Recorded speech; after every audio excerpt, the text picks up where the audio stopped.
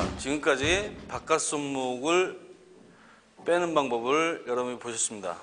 자, 지금부터 더 자세하게 그리고 세심한 부분까지 한번 원리가 어떻게 되는지 한번 자세히 설명을 드리면서 보도록 하겠습니다. 자, 손목을 잡았습니다. 상대방이 손목을 잡았을 때는 나에게 어떤 위해를 가하기 위한 예비 동작입니다. 이 손목을 잡고 나를 끌고 가거나 나에게 가격을 하거나 이런 예비 동작이기 때문에 신속하게 이 상황에서 모면을 해야 됩니다. 그러기 위해서 일단 아까 배웠듯이 나의 손목에 힘을 극대화시키고 나의 손목을 팽창을 시키고 상대방을 기선을 제압하기 위해서 손을 강하게 펴줍니다.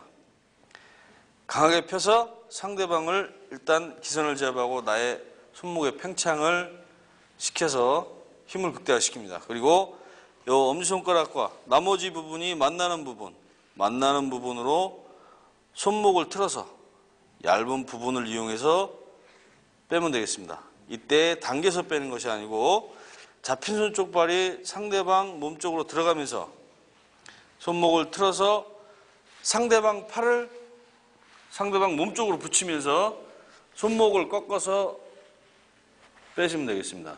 이때 상대방이 이렇게 관절이 꺾이고 더 이상 갈 데가 없기 때문에 이 손가락에서 힘을 쓸 수가 없습니다. 이 손가락에 힘을 못 쓰고 손을 상대방 손을 놔주게 되어 있습니다.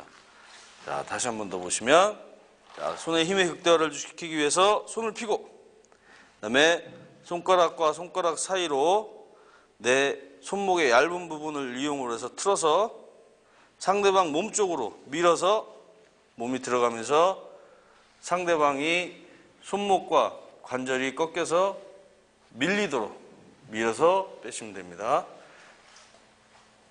다시 한, 다시 한 번 더. 천천히 슬로우, 슬로우 모션으로 한번 다시 보시겠습니다. 자, 손을 펴고 잡힌 손 쪽발이 들어가면서 틀어서 밀어서 빼고 바로 다시 그럼 연결해서 한 번 더 보도록 하시겠습니다.